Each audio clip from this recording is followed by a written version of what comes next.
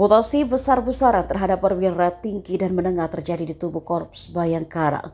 Kapolri Jenderal Listio Sigit Prabowo menekan keputusan tersebut dalam surat telegram rahasia tertanggal 26 Juni 2024. Asisten Kapolri bidang SDM Irjen Pol Dedi Prasetyo mengatakan total keseluruhan terdapat 745 personil yang dimutasi.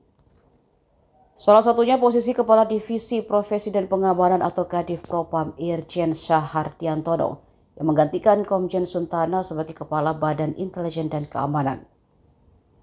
Pangkat Sahardiantono juga akan otomatis naik menjadi Komisaris Jenderal menyesuaikan jabatan baru. Sementara Komjen Suntana memasuki masa pensiun. Posisi Kadif Propam akan diisi oleh Irjen Abdul Karim yang sebelumnya menjabat sebagai Kapolda Banten. Lalu posisi Kapolda Banten diisi Brigjen Suyudi yang sebelumnya menjabat Wakapolda Metro Jaya. Download Tribun X sekarang, menghadirkan lokal menjadi Indonesia.